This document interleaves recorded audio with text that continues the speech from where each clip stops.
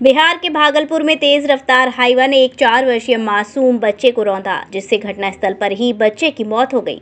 वहीं ग्रामीणों ने बताया कि खनन माफियाओं द्वारा अवैध बालू खनन खुलेआम हो रहा है, लेकिन अवैध खनन पर खनन विभाग के पदाधिकारी कोई कार्यवाही नहीं करते हैं। आए दिन इस तरह की घटनाएँ होती रहती हैं। आज भी हाईवा ने एक चार वर्षीय बच्चे को कुचल दिया, जिसमें बच्चे की मौके पर ही मौत हो गई। बता दें कि मृतक बच्चे की पहचान सुल्तानगंज के कासिमाबाद गाँव के रहने वाला कामदेव मंडल के पुत्र राजकुमार के रूप में हुई है। वहीं मृतक बच्चे के पिता ने बताया कि बेटा खेत से वापस लौट रहा था, तभी तेज रफ्तार आ रहे हाईवा ने मेरे बेटे को कुचल दिया। इस घटना की सूचना मिलते ही अकबरनगर एवं सुल्तानगंज थाना प्रभारी ने पहुंचकर शव को कब्जे में लेकर पोस्टमार्टम के लिए भेज दिया। वहीं सुल्तानगंज पूर्व विधानसभा प्रत्याशी रवि सुमन कुमार ने परिजनों से मुलाकात की और मुआवजा दिलाने की बात कही।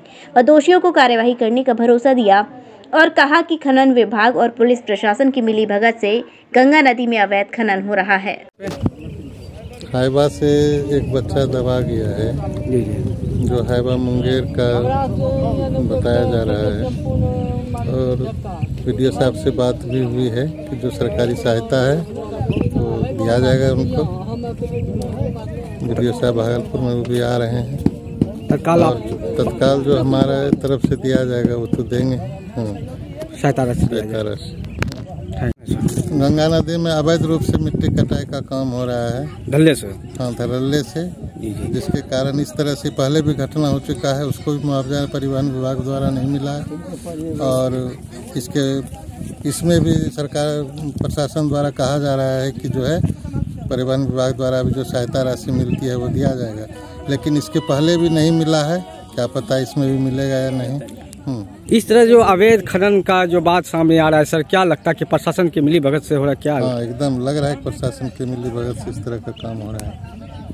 कैसे क्या वहाँ देखिए कि वहाँ ऊपर में खेती करता है हम लोग जो है ऊपर में खेती करता है यहाँ पे बसा है यहाँ पे। चलिए बसा भी इंक्वायरी करिए। यहाँ पे बसा है खेत से सबको काट बाँध के आ रहा है। जब टाइम हो गया गाय माल को खिलाने का देखिए तीन बज रहा है अभी टाइम गाय माल को खिलाने के लिए ड्राइवर जो है यही यही एक देखे सगट पानी है ये भी इधर सामने देखिए ना। हाँ। सगट पानी है एक थोड़ी जब लीक है सूखा हुआ है तो बच्चा आ रहा था तो ड्राइवर को नहीं झलका रोड में जब आ रहा था तो। तो यही गाड़ी से हुआ। है हाँ यही गाड़ी से एक चक्का चढ़ा है।